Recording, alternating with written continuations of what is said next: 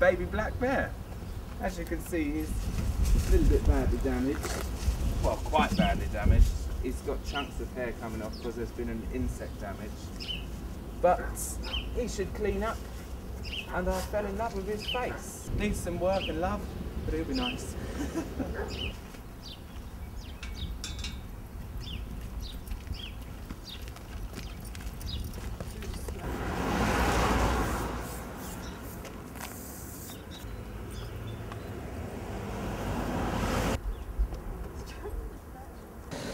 Shit, I don't think the ah, it's bigger, much bigger than we expected.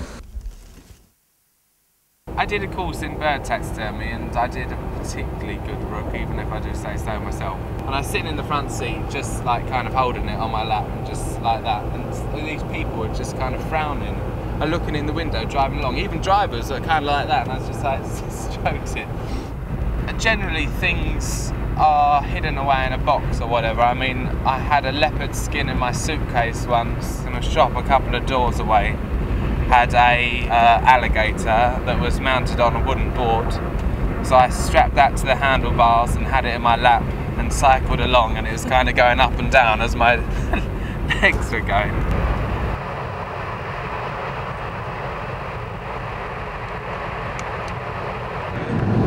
Big clumps of hair are just falling out because of the insect damage. Yeah. And so if you just tug and it's and it's uh, you know doesn't come out, it's fine. So, but, but in some areas you tug and you know it does. So once it's been hoovered all over, I might fall in love with him when he's looking a bit better. But it's really lovely. I mean, there's not been there's not been many bears come up for sale, so I'm really pleased. Everybody finds it interesting. I mean, I've been doing it collecting and interested since I was like three, so that's who I am, and everybody that knows me knows that I'm not some sort of weirdo. And this is oh, it's been shoved in a box for years. This used to be oh god, that's awful. Used to be pride of place on the wall. He did. His name was Skippy.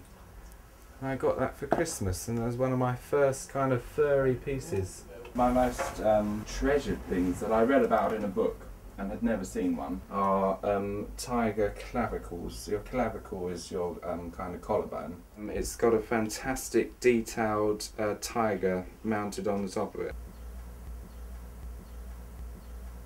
I'm far too scientific. I talk about their dentition. I'd never do anything like this. Like, oh, help me, please.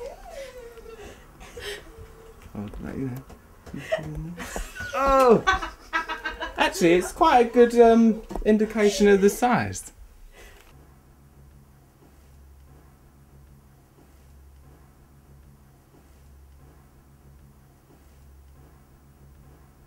So yeah, these are all my pieces uh, that I've got preserved in alcohol in Victorian glass jars. Do you, do you want to see my deformed marmoset fetus? Well, obviously. Who wouldn't? Uh, the marmoset This is the feet. yeah. The, the there was a pair of them. I haven't had these out in so long.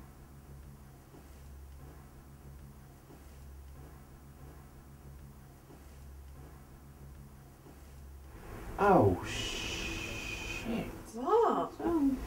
It's Anthrenus in my pelican. Oh shit. Mum, There's what? Should we stop filming for a bit then? He ain't gonna sleep tonight now, ladies. Oh, that is bad. Do you, do you... I knew I knew it had an old insect problem. No, that's why I haven't got any of it in the rest of the house.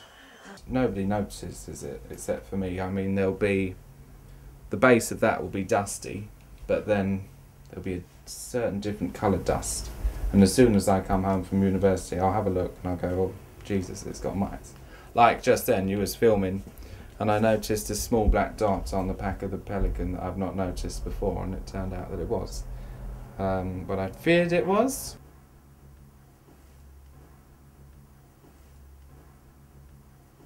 One of my pride and joys, a tiger head by Van Ingen and Van Ingen of Mysore, India.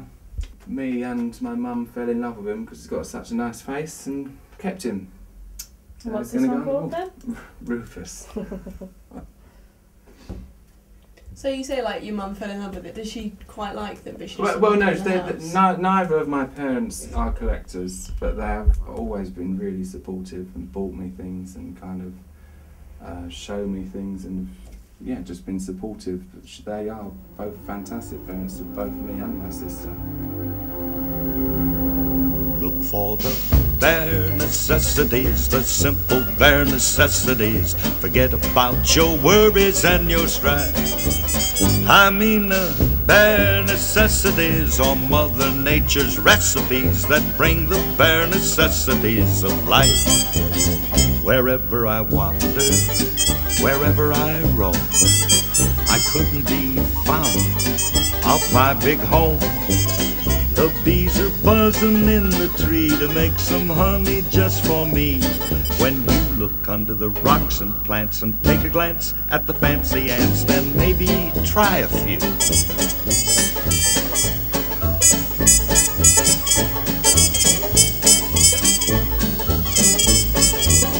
The bare necessities of life will come to you. They'll come to you.